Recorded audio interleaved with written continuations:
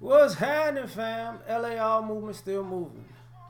Book is entitled Lessons from a Non-Custodial Father at Amazon, Kindle, and CreateSpace. A link will be in the description box below as usual. This video is entitled Some Black Women Are Trying. I made videos in the past, you know, I didn't see sisters working out. I didn't see sisters uh, taking care of themselves. I, I didn't see, I, I, saw sisters who were very combative. Um, but you know, I do, you know, I have seen sisters trying, and I'm gonna give, I'm gonna acknowledge those women, those types of women. You know, whether they're doing it, even when they're doing it in a loud manner and in a quiet manner, because being a black man, I know we don't get credit for shit. So, and I know women are, are, are more so weak-minded than men. So, you know, so I tell you know, so the ladies that are doing it uh, who feel like they're by themselves, you know, I see you. What do I mean by this? I used to not see women working out, not see black women working out a lot, and and now I'm seeing younger women who they like their young bodies and they like looking good and they want to maintain it. And I see older women who realize just because they're old, that doesn't mean they don't they that that, that, gives them a, a, pass to let themselves go. And you see, and I see them trying. And I, some some women are in shape, some women are overweight and working themselves back into shape. No matter which one, I see you. I see you trying. Some of y'all are trying, so I'm gonna give you, give you credit where credit is due. Um, there are times when I go out and I go out and I when I'm eating. You know, I'm, I'm one of those people who can be a health nut or junk food nut. And I see sisters trying.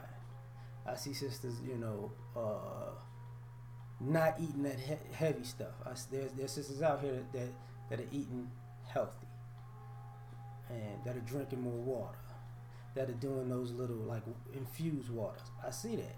You know, I'm gonna give y'all credit where credit is due because that means you're taking into consideration your health, right?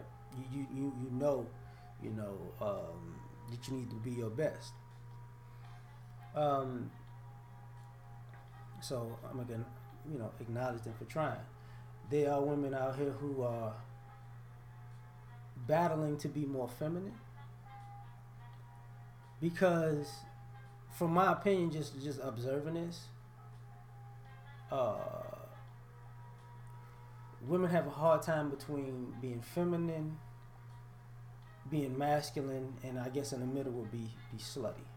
Like they got the masculine thing down and they got the slutty thing down. But the women who are just trying to be feminine or dainty or whatever, dainty, I take that.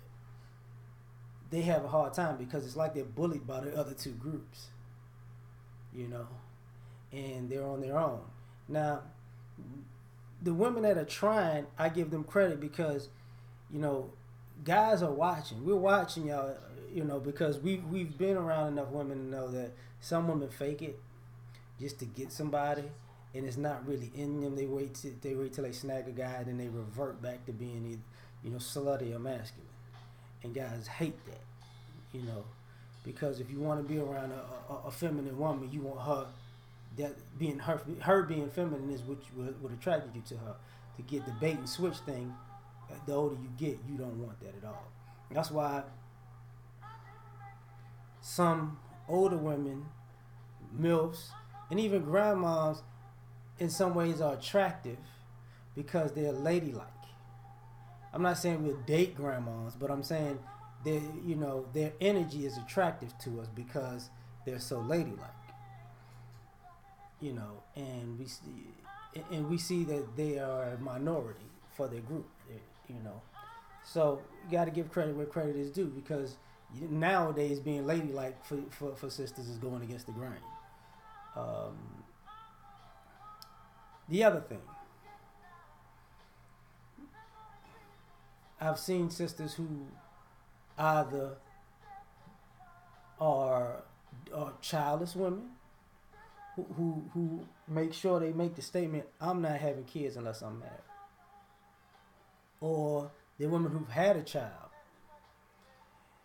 or maybe children, and but they, and they'll say, "I know my value is is less because I have kids," but uh, I know I can't do this alone. Whether they they they're actively um, co-parenting with their with their children's father, or if their their father's not in the picture, or doesn't want to be in the picture, they actively understand that you know I'm gonna have to make some sacrifices for a man to be with me, and I'm gonna have to to actually uh, be appreciative that this guy is willing to take on more of a responsibility than he had has to because of my situation. Because uh, just the acknowledgement of that is what I'm giving credit for. Uh, because you see some sisters are trying, you know. In in in the in the uh, um, in a smaller sense, I also see that a lot of sisters have made it have made it difficult for guys to approach them eh, for for years. You know, you, can still approach, but what I mean is, you know, unnecessarily unnecessary uh, animosity when when getting approached just for no reason. I see some of you ladies actively trying to get that attention back and understanding that, you know, um, the black female stereotype is giving y'all a bad rap. So you want guys to approach you, but you know guys are hesitant because it's like, eh, eh, I'm gonna watch a little bit before I say hello, you know. And you see, and, and I like it because now they can take that and they understand why, and they also understand, you know, just sometimes the guys are just saying hello. It's not everybody's trying to get your number. Every, not everybody's trying to have sex with you. Some people just see you and acknowledge you. The same way we see brothers and we acknowledge brothers. You know, we go from seeing each other for a little bit. You know, I ain't gonna say it's sizing each other up, but just giving each other a space. And one day, you know, have, crossing paths, having a conversation, laughing, giggling. Next day, we just kicking it, chuckling it up. Same, you know, it's the same process.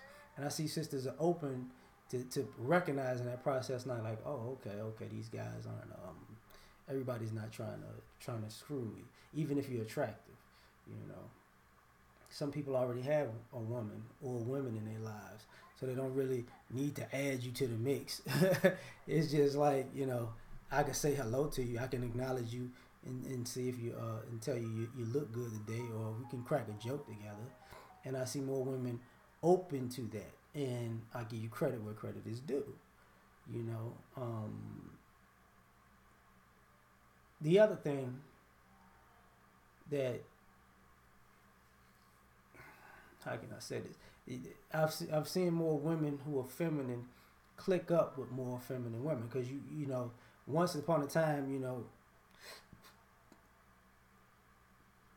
ladies act like they didn't understand birds of a feather flock together and have and when you have those hodgepodge clique of you know you say you're feminine and your your girlfriend's a thought and your other girlfriend's an overweight, angry motherfucker.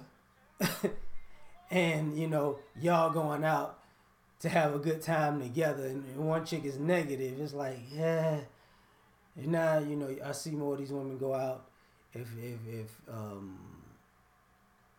the the feminine crew hangs out together because I guess they get they learn a lesson of not being around such negative people. So the positive people are hanging together more often and the negative people uh notice I noticed they're going out less and less because they're too negative and don't nobody want to be around them. So, gotta give credit where credit is due. Um, the the the how can I say this? The coup de grace to this is for some of you ladies who I do see who have daughters and sons, children in general, but the ones who have daughters in particular, that do their damnedest to make sure their daughters are feminine all the time. You know, they don't care if they get bullied in school. They don't care if people hate them or whatever. They make sure their daughters, they train their daughters to be ladies. I see their effort. Uh, you know, much respect to that. Um, the ones with the sons, uh, I give y'all, I, I see y'all too because y'all realize that you can't raise your son to be a captain. You you start telling them the truth about interacting with females. You, they you can't save them. You can't save them all. Everybody's not worth that. You don't you don't um, undervalue yourself and overvalue her. You know that type of behavior. I see that too. You know, so this video is like you know I see some of y'all. Like I mean, y'all the majority? No, but at the same time, I'm glad to see y'all still out there. So we out, y'all. Peace.